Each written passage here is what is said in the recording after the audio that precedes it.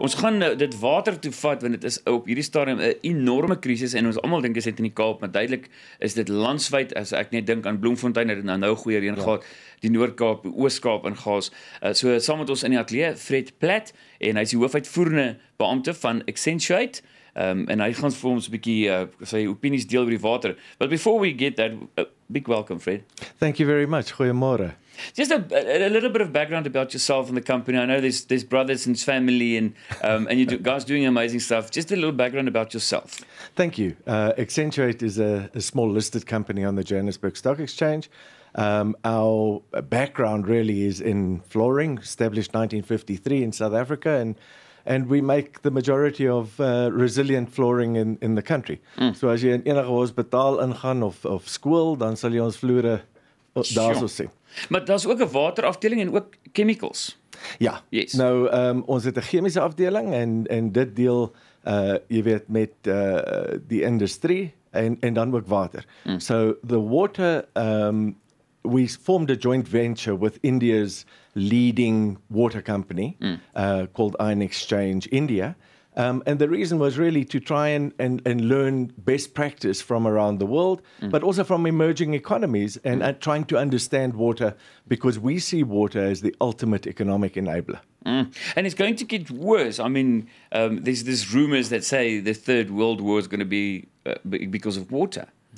There's no doubt. And, mm. and I think if you go back into, into history, you will always see that cities and communities and, and uh, civilizations mm. were formed around water. Mm.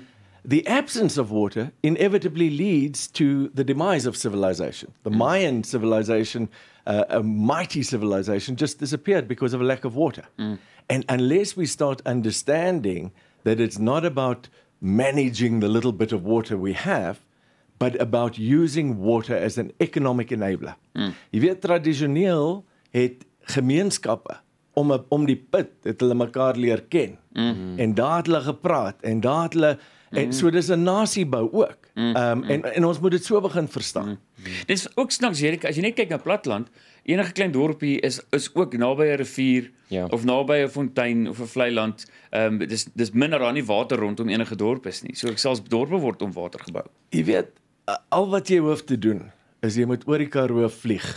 Mm. En dan kyk jy na daai dorre land mm. en dan vlieg jy oor die Oranje rivier. Mm. Dan sien jy wat water kan doen. Mm. Dan verstaan ons ook dat miskien in hierdie land het ons nie so groot 'n landkwessie nie. Mm. Maar ons het 'n waterkwessie. Mm. Want as ons water kan kry, kan ons gemeenskappe uh we can start communities. Mm. And we can also, you, you, must also understand, I think the last city we, stand, we started in South Africa was Secunda. Mm. Uh, but if we could have an abundance of water, mm. then we can start redressing. Instead of fighting about the little bit we've got, and instead of worrying about day zero, we should be saying, how do we use water as an enabler? Mm. Let's have a look at the UAE. You go to Dubai. Everybody goes to Dubai today. Mm. Mm. But when you go to Dubai, why is Dubai there? It's mm. because they've put water. You can go to Israel mm. and understand the possibilities. Mm. You can go to Singapore. These are all countries that are water challenged. Mm. And what is important to understand is that South Africa is the 39th driest country in the world. Mm. And we have a water challenge. It's not going to get any easier. So, how do we turn the paradigm from managing to day zero mm. to how do we get to an abundance? And there's a number of strategies in that mm, regard. Mm, mm. We're going to talk about that strategies in your view. Um, just your experience being in the corporate world. I mean, you're working in you, you I mean, you in the realm of big businessmen and big companies. Um, you know, the responsibility. Do you feel there's there needs a bigger responsibility? Needs to be a bigger responsibility with among companies, absolutely, especially mining. Absolutely. Mm. I think the one thing that we need to, the, the most fundamental thing that we need to understand is that you don't use water. Mm. You are merely a custodian of water. Sure. So you're only looking after that water, and you have a responsibility to put that water back in mm. um, into the system, managing it effectively. Because the problem we've got, one of the big challenges that we face as business and as consumers, but mm. I, I speak specifically to business, and that is that we we only move water from one state to another. Mm. And if we start understanding that you have a responsibility to re, uh, recycle, reuse, up to 70% of your water can be effectively reused. Mm. Okay. Mm. And then you have a responsibility because if you don't and you just take this view that it's a stock, you use the water, you dispose of it, not only are you being irresponsible, but you're also contaminating the downstream water, mm. and that's that's the challenge that we're facing. Mm. We are, we are going to discuss it because uh, even from corporate to just the guy in his house, I mm. think we need to address the whole, you know, holistically because it's sure. everyone's yeah. problem. Um, even for me, I have a borehole, but it doesn't mean I can just go bonkers now. You can do mm. a lot more than just thinking of your grass, but we're going to get to that. I see that you're very outspoken when it comes to how we're supposed to be handling this water crisis at hand. And um, I see one of the, the stuff uh, that you also mentioned is that you think that it's important to understand that water is far too serious a matter to leave to the politicians. So, um, should we be pointing finger, fingers at this stage, or um, should we be taking action, and where do we start? Yeah, look, I think it's important to understand this is where we are. Um, a number of decisions have been taken. It's brought us to this point, and it serves absolutely no purpose at this point in time mm. to really uh, apportion blame. You know, 2019 is coming, and people can use it at that point in time for whatever political reason they may see. Mm. What is required now is a united approach to water. Water is the, in, as I say, the economic enabler but it's also where we should build, be building our future, future strategy around. It's also what should be uniting us mm. as a nation now, mm. because the absence of water will ultimately lead to division and to the demise of, of, of, our country. The elections are around the corner, which you just mentioned. So this just pops to mind. Do you think that um, the water crisis is as much a crisis as we see in the media? Or do you think politicians are actually just using this to make it a bit bigger, uh, but also to use that to their advantage? The the issue of politics, politicians unfortunately always use these matters to their own benefit. Mm-hmm.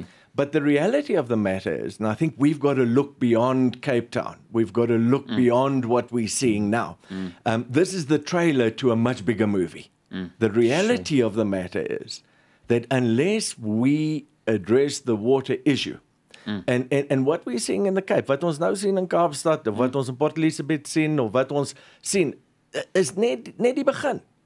Um, mm. If you do not have water, you cannot have economic development. Mm. And that's the bottom line.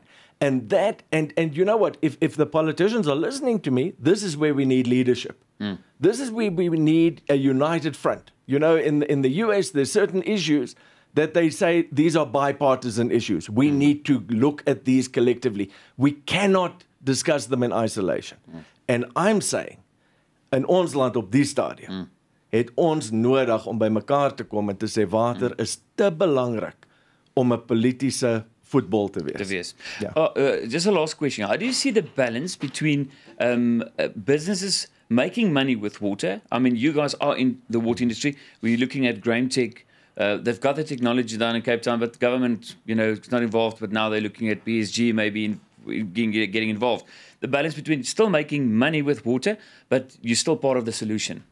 Yeah, look, uh, uh, the, the important thing is that the problem in this country is so big that everybody has an opportunity to get involved in the water industry. Mm. Now, obviously, the provision of water, I think if we can just break it into, into a number of areas. Firstly, bulk water is a national asset, mm. and we need to manage it accordingly. Mm-hmm.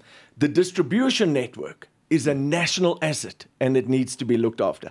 How we treat water can be done in partnership because there's not enough money and businesses got money and they're prepared to get involved. Mm. But the enabling economy of water goes way beyond just the people in water itself. Mm. If you put water down, remember, ons kom van die land af. Ons is ons voorvaders. Mm. Geen dit maak nie saak waar jy vandaan kom nie. Mm. Um and and agriculture should be a backbone of our economy. Mm. And if we put water down, we can it can be our enabler, it can be the job creator, it can be the nation builder, but we need to rally around the issue mm. of water in abundance and water as an enabler. Mm. Wow. Jou positiwiteit is aansteeklik, Fred. So thank you for visiting Baie us. Dankie. Ja.